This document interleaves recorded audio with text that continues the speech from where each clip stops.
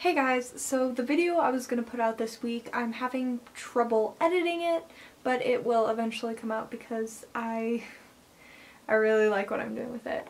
But kind of to give you a heads up on what that video is going to be, um, I love making props, like in cosplaying and making costumes, my favorite part is little details and props. I don't know why I love making props so much. Making the clothing itself for a costume, not as much of a big a fan of that. But prop making, I love it.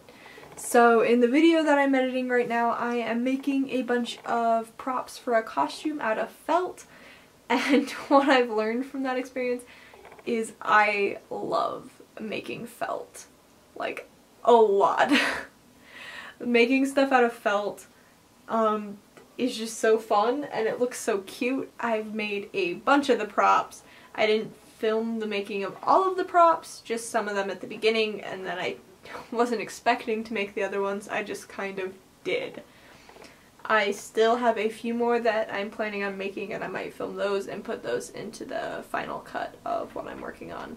But my computer is having a hard time accepting the footage, so I'm trying to fix that problem. I just wanted to let you guys know that I'm really excited for the video that I'm editing and the projects that I'm working on with it and I just I love it so much. Everything looks great right now and I'm just super excited to be working on more of it. At the moment I there is felt and hot glue guns and glue all over spread out over my bedroom floor because for the first time ever I have been making my craft inside of my room instead of all over my house. I've confined the mess into my room.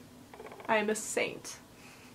Anyways, I hope you guys are looking forward to that video as much as I am, and until next time, bye.